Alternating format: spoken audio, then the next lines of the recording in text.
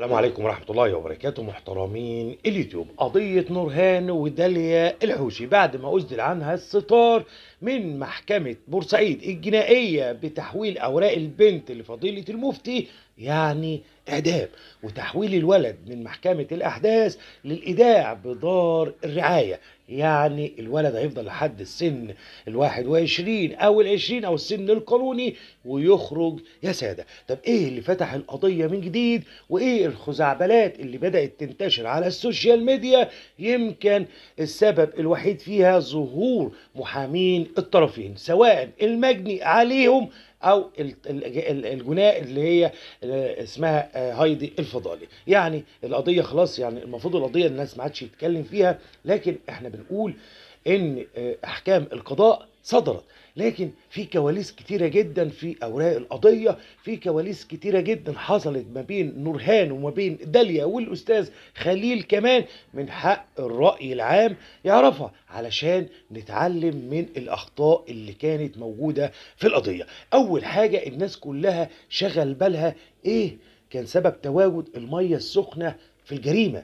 أيوه هي المية السخنة هتموت. لا مش هتموت. طب ليه هم آه بدأوا إن هم يصروا ويتفقوا على حتة المية السخنة؟ وجب علينا إن إحنا نوضح لحضراتكم قصة المية المغلية اللي استخدمها آه آه حسين ونورهان في تشويه جثمان داليا. إحنا عارفين من خلال الأقوال إن هم اعترفوا وقالوا إن إحنا كنا هنقطع جسمها ونحطه بدليل إن كان موجود شوله كان موجود أكياس زبالة كبيرة والتروسيكل تحت العمارة. يعني إيه؟ يعني هم يا سادة إن الولد أحمد وآدم لما طلعوا وخبطوا هنا الوقت ما سعفش نورهان ولا كمان حسين. هما كانت متفقة وكانت مرتبة إن أحمد هيكون مع الأستاذ خليل على الفرش وإحنا عارفين الناس اللي بتفرش أو تفترش الأرض اللي تبتاع أي سلعة بيروحوا يمكن بعد الساعة 10 أو 11 بالليل فكانت هي مطمنة قوي إن أحمد مش هيرجع.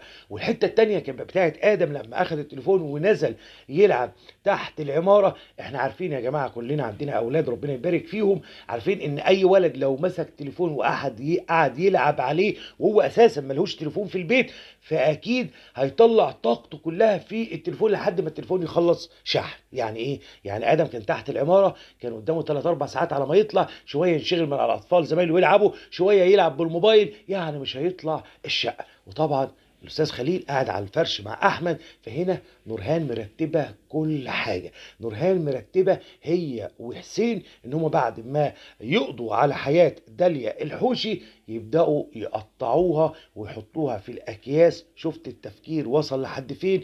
وهينزلوا يحطوا الأكياس في التروسيكل وهنا حسين هيتوكل على الله بالتروسيكل في المصرف الفلاني. رجل في الترعة الفلانية آه ودن في الطريق أو الحتة المهجورة آه النصف الأمامي النصف السفلي. ده اللي كانت آه، نورهان وحسين متفقين عليه. لكن إحنا عاوزين نعرف لغز المية المغلية. أنا هقول لحضراتكم من من وجهة نظر أنا ولو اقتنعتوا بيها اكتبوا لنا في الكومنتات. ولو ما اقتنعتوش برضو بيها اكتبوا لنا في الكومنتات. هنا طبعا بعد ما ينتهوا من المية المغلية ويكبوها أو يدلقوها على آه، على وجه آه، داليا هيطلعوا يفرقوا آه، جسدها على جميع المناطق. واخدين بال حضراتكم. لكن هنا آه، ما نقدرش نوصل لشخصية المتوفى أو القتيل من خلال رجله من خلال إيديه من خلال الجسم الجزء اللي فوق الجزء اللي تحت. طب هم دلوقتي سهل جدا إن هم يوصلوا من خلال محاضر التغيب لوجه السيد أو لوجه الشخص أو الست من خلال البلاغ لأن اللي بيروح يعمل بلاغ أول ما بينطلب منه في مركز قسم الشرطة بيقول له إيه؟ هات لنا صورة شخصية. صورة إيه؟ شخصية. فهنا هم فكروا كويس قوي وده الثابت إن آه، شخصية آه، نورهان شخصية نرجسية وهنتكلم برضو في حتة إنها ما هربتش ليه بس نكمل حتة المية السخنة. طبعا هم لما لما لما يرموا آه، آه، داليا بطبيعتها راس في ناحية وجسد في ناحية ورجل في ناحية فهنا أول ما يتم العثور على الراس اللي هي الوجه للسيدة هتتعرف على طول ليه؟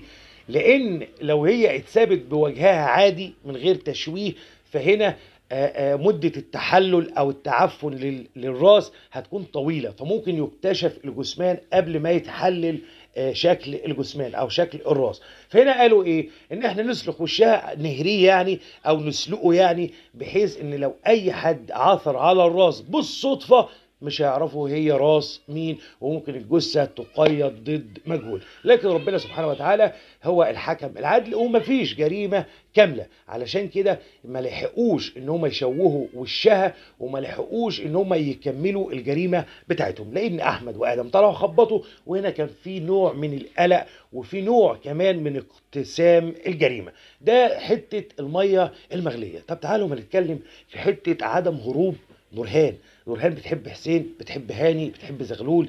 ليه ما هربتش مع الولاد دول؟ طالما هي واخدة حرية وواخدة سيطرة ومسيطرة في البيت. مين؟ من صفات الشخص الشخص النرجسي. خدوا بالكم يا جماعة السيدة النرجسية بتبقى أقوى في الأفعال من الشخص النرجسي. ممكن النرجسي يتهاون بعض الشيء وده اللي كان ظاهر من خلال لما داليا كانت بتقول لحسين كفاية ضرب بقى كفاية ضرب. وقعدت تتكلم معاهم. إنما السيدة النرجسية بتكون متسلطة وبتكون مسيطرة وبتكون مصممة وعندها إصرار في تنفيذ اللي في دماغها. طب إيه اللي حصل؟ قصة نورهان. نورهان إحنا عارفين إن عندها حرية يمكن مفتوحة في البيت. مفتوحة في البيت يعني إيه؟ كانت بتعشى براحتها تطلع الناس براحتها آه، تعمل علاقات مع هاني مع زغلول تروح الجامعة براحتها تيجي تيجي مش عارف إيه. فهنا طبعا هي حست بالراحة. طب ليه تاخد حسين وهيبقى حسين لوحده؟ واخدين بالكم؟ يعني هي لو طفشت وخدت حسين هتاخده وت- وتهرب بيه لوحده. طب ليه؟ ليه إن أنا أدور على مكان وممكن حد يسيطر عليا، ممكن حد يأذيني، ممكن حد يمسكني، آه، ده ده لو خدت حسين وهربت علشان تمارس العلاقات الشاذة. لا من صفات الشخص ال- آه، أو الشخصية النرجسية إنها بتتمكن من البيت اللي هي قاعدة فيه. طالما واخدة الحرية الكاملة طالما واخدة السيطرة خلاص مش مش فارق معاه بتطلع شفتوا الجرم شفتوا الفجر شفتوا مدى الحرية اللي كانت نورهان واخداها؟ تطلع حسين الشقة ويبات معاها. يعني ده النهارده لو البنت المؤدبه شاب ولد بس آه، آه، لمح لمح لها أو عاكسها في الطريق بتطلع جاريه على بيت أبوها بتشتكي لأخوها ولأبوها. وإحنا شفنا وقائع كتيرة جدا تسببت في المشاكل بالنسبة للتحرش والتنمر ومعاكسات البنات اللي بيحافظنا على عرضهن وعلى شرفهن. إنما نورهان ليه أنا آخد حسين واطلع في أي مكان أهرب؟ ممكن صاحب الشقة يمسكنا وليه أربط نفسي وأقيد نفسي بشخص واحد؟ ده الكلام ده يا أستاذ مجدي الكلام ده هيودينا لنقطة. لنقطة إيه؟ إزاي ده؟ كانت مخطوبة. يعني أنت بتقول دلوقتي مسيطرة ومن من شروط السيطرة دي أو ال- الشرط ال- ال- الصفات النرجسية إنها ما بتحبش تتجوز ولو اتجوزت لازم تختار إنسان ضعيف أو أو أو عشان تفضل مسيطرة على طول. أقول لحضراتكم مع احترامنا الكامل للأستاذ محمد خطيب نورهان إن هو شخصية طيبة جدا جدا جدا جدا جدا. تمام؟ أنا مش بعيب فيه لكن هو طبعا ربنا سبحانه وتعالى اللي خالق كل حد كده حد طيب حد حاد حد قاسي حد شديد واخدين بال حضراتكم؟ فشخصية الأستاذ محمد كان سهل جدا جدا جدا إن نورهان تخدعه ليلة الدخلة إنها تعدي الليلة بعملية بوهم بأي حاجة ممكن تجيب بتدين أي حاجة ليه؟ لأنه يعني شخص غير ذات تجارب يعني ما عندوش تجارب مش مش مخربش زي ما إحنا ما بنقول وده مش مش عيب فيه ده دي فطرة ربنا سبحانه وتعالى خلقها في الشخص إنه طيب لدرجة يعني تتخطى الحدود فهنا نورهان وافقت عليه ليه؟